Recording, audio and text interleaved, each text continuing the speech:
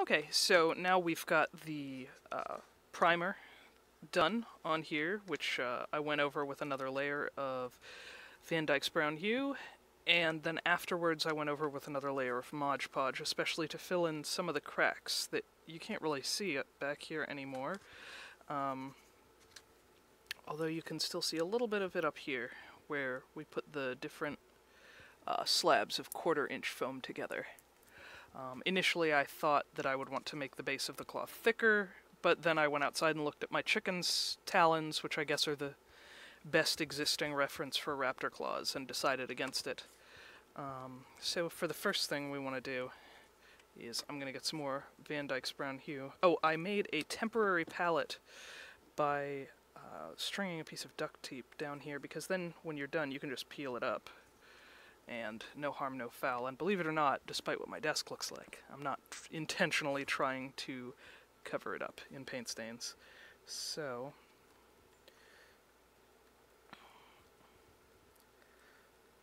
mix up a little Van Dyke's and a little, you can use a bone color for this, but I enjoy using gray more than bone. And you just kind of whip it back and forth to get it on the top layer. This technique is called dry brushing because you're using a dry brush, I suppose.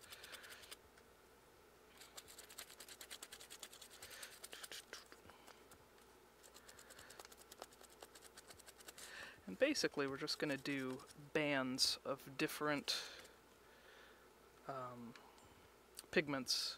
So like that one was about half gray and half Van Dyke's brown, so now we'll add. You can add more or less depending on how subtle you want the gradient to be. I'm going to add about another 25% gray to this. And then you just wipe most of the paint off of your brush. And you want a little bit of overlap to go onto where you just were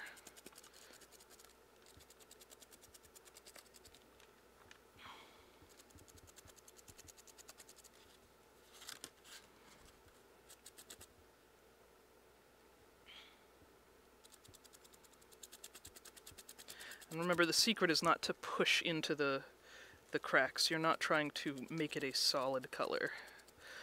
Um, dry brushing will help you get more realistic textures in uh, quickly. Uh, airbrushing is another way to do it, but airbrushing is more for skin textures, I think, than uh, harsh, bony, um, kind of coarse and hard things claws, beaks, um, hooves, armor.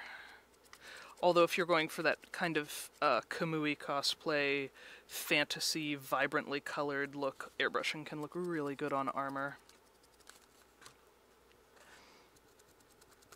But it's mostly a stylistic choice. I'm just doing pure dark gray. I don't think this is dark gray. I think this is platinum gray, but I'm using Apple Barrel outdoor gloss paints for this, just to maintain a little bit of that enamel look.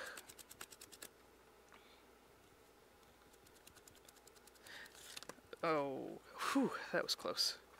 Um, paints can come in matte or gloss, uh, depending on what you prefer um, matte color just doesn't have a shiny finish and gloss does.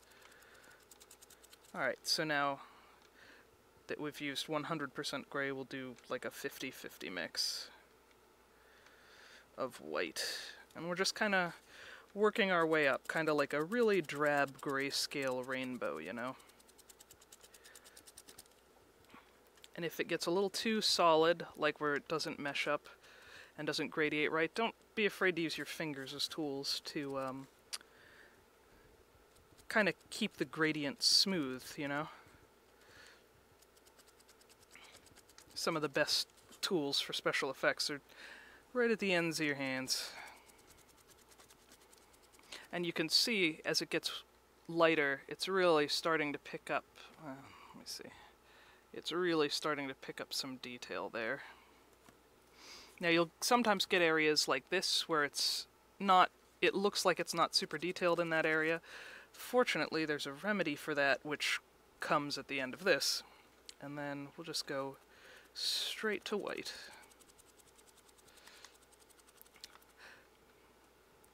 I think most Halloween props are dry brushed because it's just a quick and easy way to get a detail finish.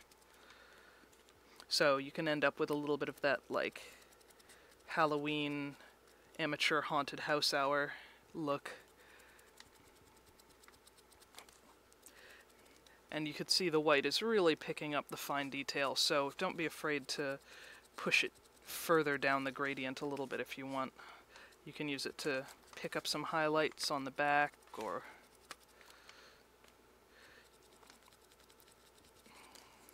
you could even go down here use a little bit to pick out the the ridges and give them a little bit more oomph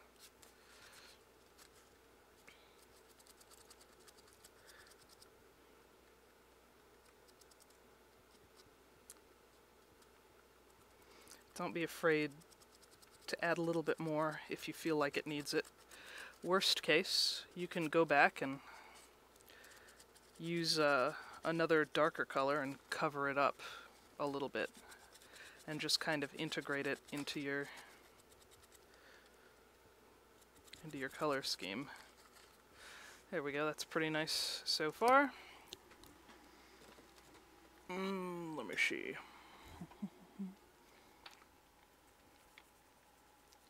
And now, the next most important thing, which of course I forgot to get, well, actually,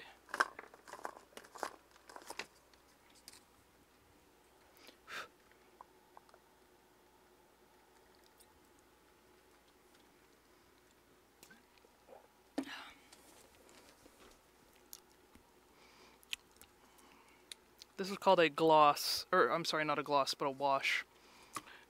You can use a little bit of water and mix up. I'm just mixing up some of that Van Dyke's brown with it and see how it gets real fluid. It starts to move like water. Uh, and so we can just paint this in.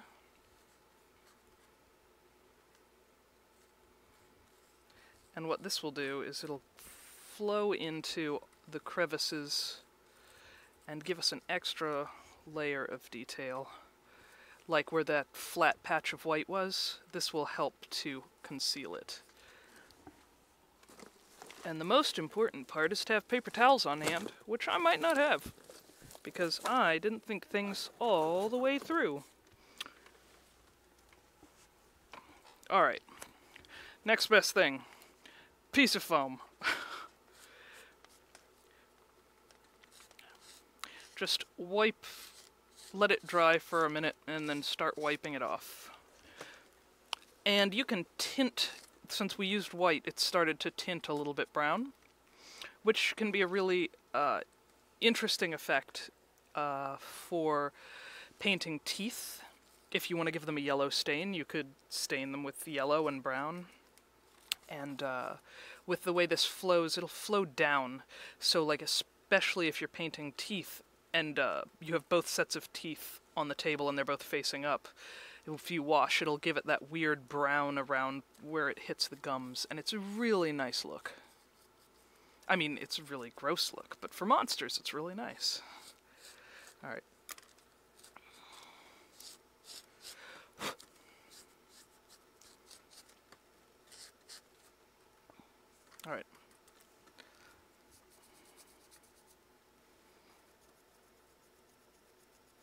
Just feathering the brush to prevent it from clumping up and getting my hands super dirty in the process.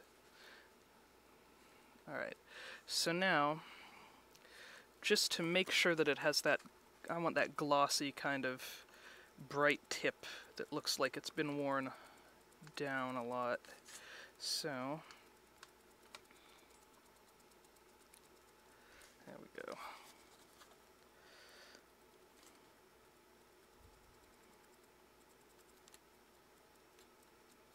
There we go. And so, here we have finished raptor claw. And now if you really like, you can go in with a very fine uh, brush and a darker color and you can fill in some of these gaps. Well, not gaps, but some of the detail. For example, like you could just paint in some of these if you really want your detail to pop. Um, or you could go in